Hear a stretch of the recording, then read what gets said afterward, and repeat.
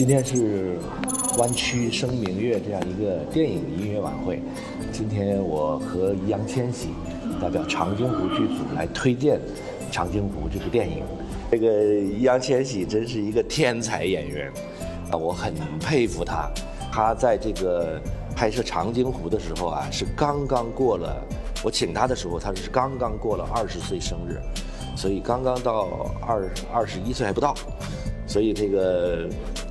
呃，接拍《长津湖》的时候啊，我非常感动的就是他，因为这个拍摄期非常长，前前后后将近八个月时间，那么中间这个时间他一直在剧组里，一直在工作，没有一点说自己的时间说请假还要出去串戏，还要出去去去去走那个走秀节目啊，这这些都没有去。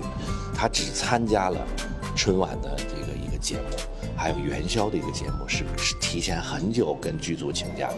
安排这个重要的演出任务。那么我很敬佩他，因为三个导演都非常喜欢他。这部戏里头主要的是看吴京跟易烊千玺这两兄弟的故事，啊，一个叫千里，一个叫万里，所以加在一起是远赴千万里啊，去去抗美援朝。打仗长津湖战役的这样一个再现了七十年前的这样一个一个连队啊，这个英勇杀敌、英勇奋战的故事，那么演得非常好。千玺从一个年轻的这个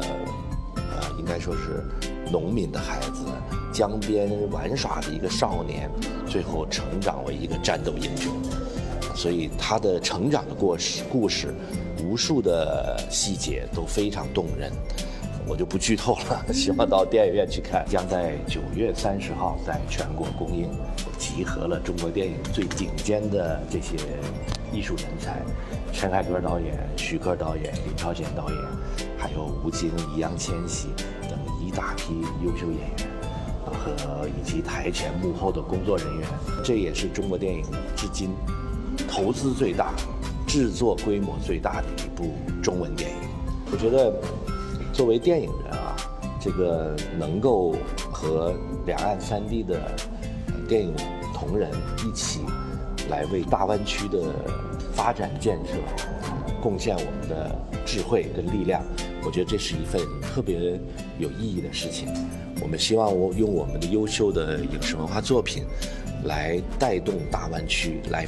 反映大湾区的建设，来来为大湾区的发展啊献计献策，同时能够记录大湾区的发展的辉煌的时刻。下载 N 视频 APP，N 种方式打开世界。